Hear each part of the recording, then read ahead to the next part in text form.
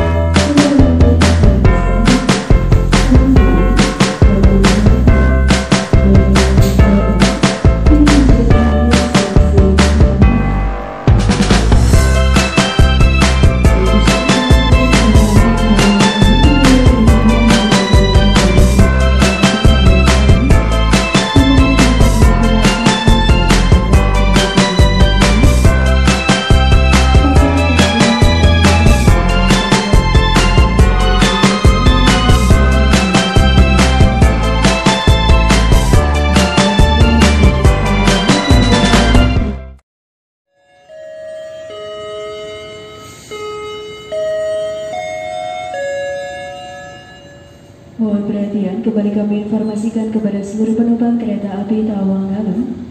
Dimohon untuk tetap menggunakan masker atau kain penutup hidung dan mulut, serta pakaian pelindung lainnya seperti jaket atau pakaian lengan panjang.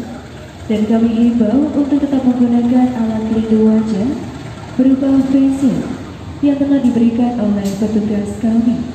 Atas perhatian dan kerjasamanya kami ucapkan terima kasih.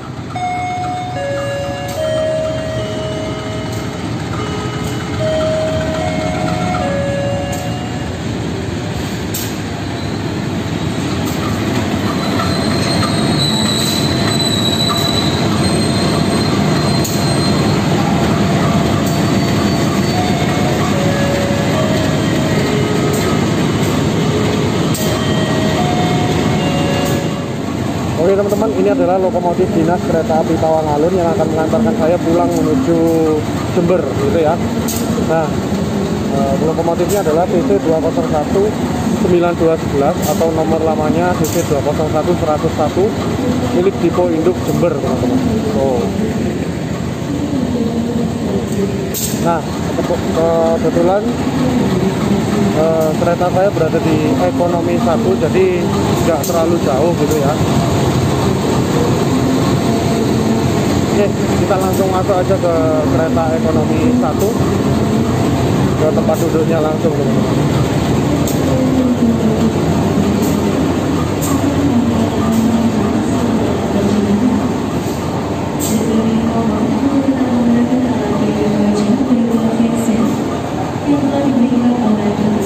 Oke, ini kita masuk ke nomor yang sini.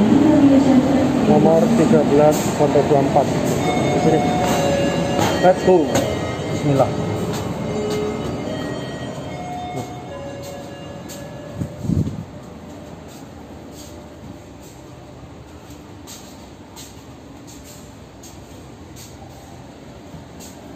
Nah, ini tempat duduk saya di sini teman-teman. Oke, ini dia. Alhamdulillah.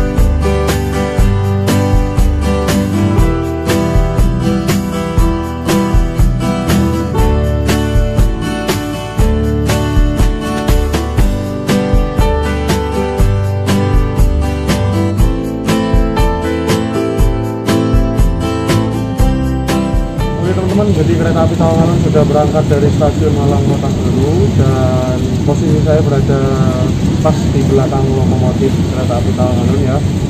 Nah nanti akan menjadi uh, saya akan menjadi di belakang sendiri gitu karena kereta api Tawangalun nanti akan berputar posisi lokomotifnya berpindah dari depan sini menuju ke bagian belakang di stasiun Bangil gitu karena nanti arah. Itu nanti saya kasih tahu percabangannya antara uh, yang dari Bangil ke Ketapang dan juga Bangil ke Malang ini nanti saya kasih tahu teman-teman. Gitu ya. Oke sekarang kita nikmati perjalanannya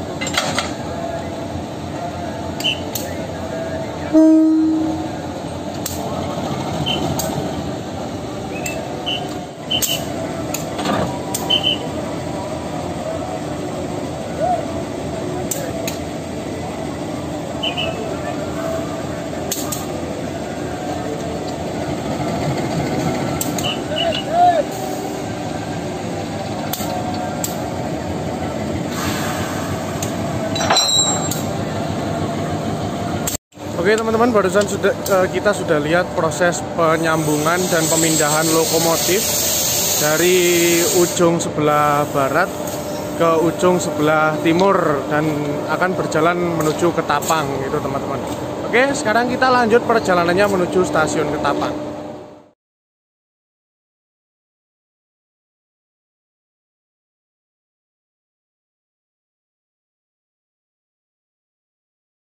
Probolinggo kurang lebih sekitar 15 menit.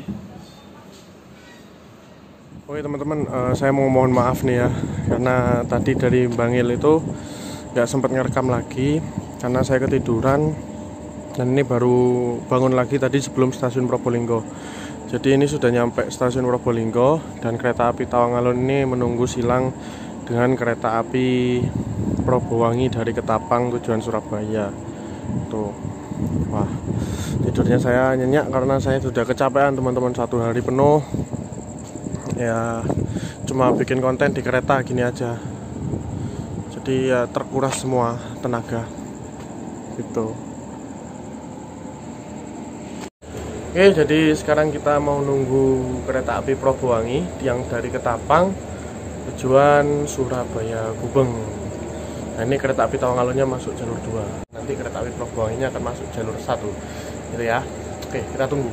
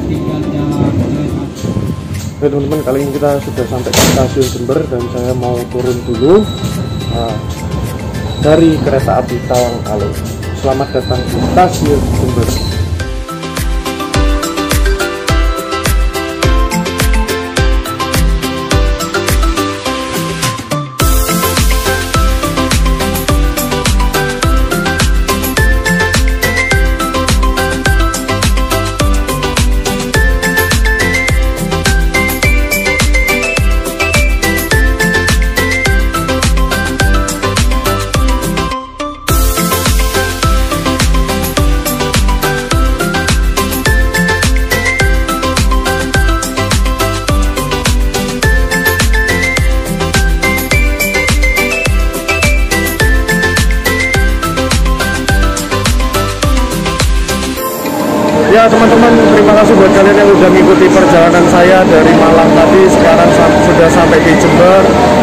Eh, saya berterima kasih banyak. Dan jangan lupa juga untuk klik tombol subscribe di bawah, aktifkan lonceng notifikasinya, sertakan like, share, dan komen. Terima kasih, sampai jumpa pada video selanjutnya. Bye-bye.